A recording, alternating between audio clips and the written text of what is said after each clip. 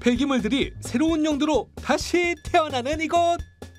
버려진 공병, 폐지, 폐가구 등이 재치 있는 아이디어와 감각적인 디자인을 만나 새로운 가치로 탈바꿈되는 새활용 센터입니다.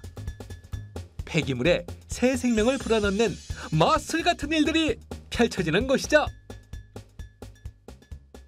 화재 현장에서 단연 맹활약하는 소방 호스.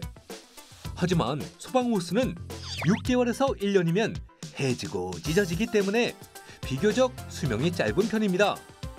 그러나 이 질기고 튼튼한 재질에 방수까지 겸비한 알짜배기 소재를 쓰레기로 방치하는 것은 음, 완전 스튜피드. 소방 호스를 어떤 용도로 재활용할 수 있을까요?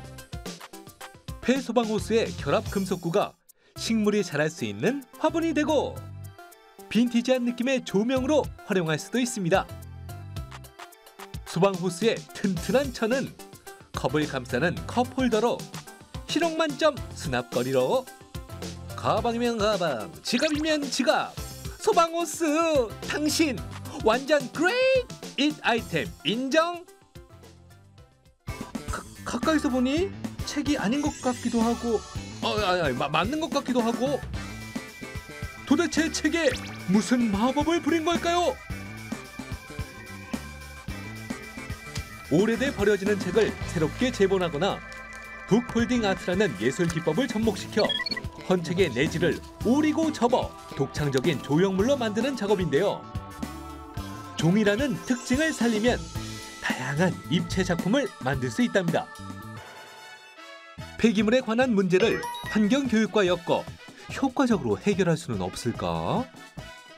일곱 가지 모양의 블록을 활용해 버려지는 페트병을 재사용할 수 있는 교육용 블록 완구가 탄생했습니다. 우와, 이게 유리병이 아, 이건 누가 봐도 작품 아닌가요? 아, 너무 아름답잖아. 유리병을 특수 제작한 가마 속에서 3, 4분간 가열해 원하는 형태로 디자인하는 slumping 기법을 활용한 건데요. 고온에서 흐물흐물해진 유리병에 테크닉이 더해지면 다양한 모양의 공예품을 만들 수 있답니다. 좋아요 좋아 계속 그래요 계속 계속 계속 좋아 좋아 좋아 이랬으면서 좋아 좋아 좋아요 좋아 좋아 좋아 좋아 좋아 좋아 얼굴 빨개 때까지 좋아 좋아 좋아 좋아 좋아 좋아 좋아 stop good